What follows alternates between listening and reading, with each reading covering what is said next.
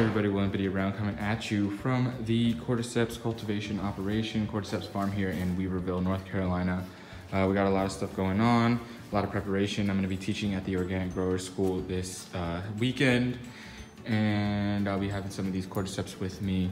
Um, and then next weekend, I will be teaching um, at, I'll be teaching here at the farm, uh, Cordyceps cultivation workshop. I'll drop the link below for that. And then two weeks after that, I'll be teaching up in New York uh, with Willie Crosby uh, from Fungi Ally. So uh, busy schedule for the rest of March. Stay tuned. I might be doing a cordyceps ceremony in Baltimore as well um, in two weeks on a Friday. So I'll drop all the links below and all the information. Uh, stay tuned. Um, we have a lot of jars here that I just started uh, putting to fruiting a couple weeks ago, so they're just starting to pin. Uh, you can see some small fruiting bodies starting to form, um, like this here. Uh, they're all like real tiny or starting to grow like about that size. I have a couple test strains in there, so we're gonna see how that works out. Um, and then mostly running uh, this 003 strain and its progeny. Um, so I started some more cultures from spore uh, from those mushrooms.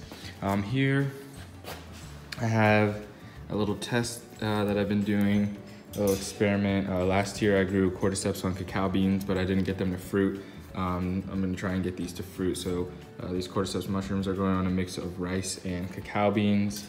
Um, either way, we're gonna eat the cacao beans once they're fully fermented by the cordyceps mushrooms. So should be a really cool project. I have some trays rocking. Uh, we got lots of fruits popping out of the trays. Doing good. Uh, those are more for experiments and for personal use and stuff like that. We'll see how that works out. Uh, we also have some bags running um, that aren't doing as well, but they still have some fruit action going on. Um, other than that, uh, we're getting into our uh, rotation here. I got a lot of jars in the incubation area. Uh, all these over here have the cacao beans in them. Um, you can see that they're producing a very interesting uh, color enzyme there uh, once they're grown on the cacao beans. Um, and then all of this is just our fruiting strain incubating as well as all of these in here. Um, been running about uh, 44 to 50 um, jars a day here and we're getting another uh, Steroclave, Stereoclave in here so that we can up our production a little bit more. Um, yeah, not really much more to update.